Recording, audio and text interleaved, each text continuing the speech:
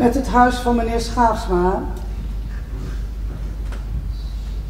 Nee, die is even de deur uit.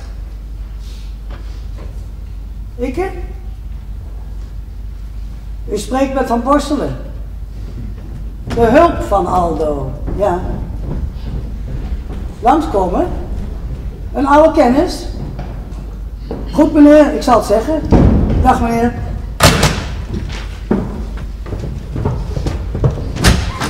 Miek, het is zover. Ze zitten achter me aan. Die hangjongeren? Marokkaanse knullen. Vlak voor Albert Heijn kregen ze me in de peiling. Ik denk voor je kijken, doe of je ze niet ziet. Extra lang geteut in de winkel, godzijdank een flinke rij voor de kassa. Kom ik eruit, staan ze er nog. En ja hoor, ik kreeg me daar een zang. Zang? Ja, uitschelden, vieze flikker en zo. Vroeger noemde je dat zang krijgen. Erg hè? En je kan niks doen, het is een andere cultuur. Ze weten het gewoon niet dat de homo's er hier helemaal bij horen. Meteen hard weglopen is ook gevaarlijk, dan zien ze dat je bang bent. Volgens mij is er eentje me gevolgd. Ik ben expres via een andere gracht gelopen. Oh jezus, daar hekken. Dan weten ze waar ik woon. Wat moet ik doen? Alles goed dicht houden. Ik ga s'nachts soms drie, vier keer mijn bed uit gewoon om te kijken of de boel goed op slot zit.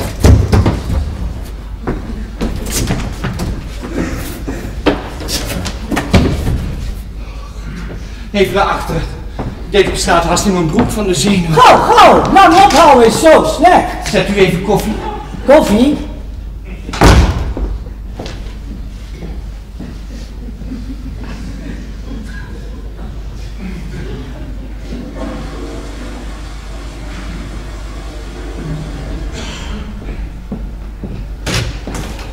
Hoe dit verder moet.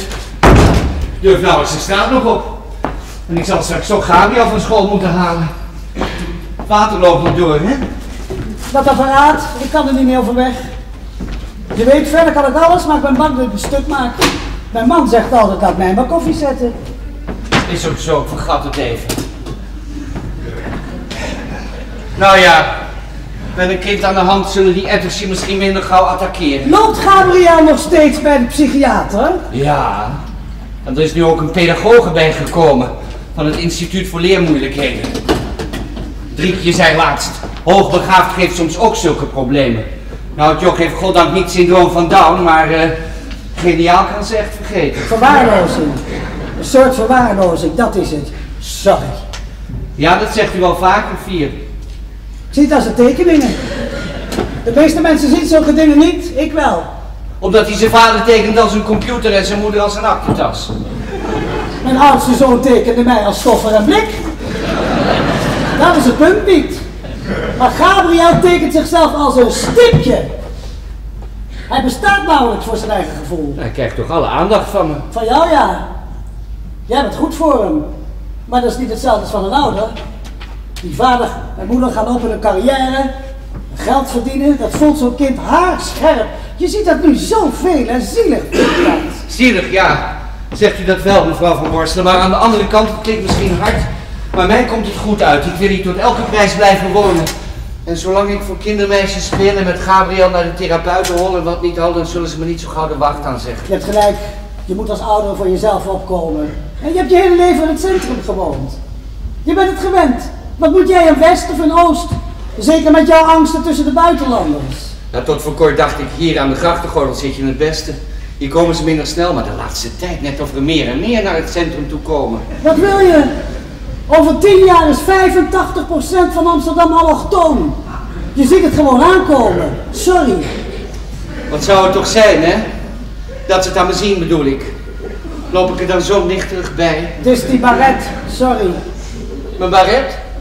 Hij staat je. Prachtig. Je hebt smaak, maar hij valt op. Baret van Prada. Je kan dus niks leuks meer aan of op tegenwoordig. Het wordt hier verdomme net Kabul. Iedereen gedwongen rond te lopen in een jute zak. Niet opvallen, daar gaat het om. Als vrouw ook.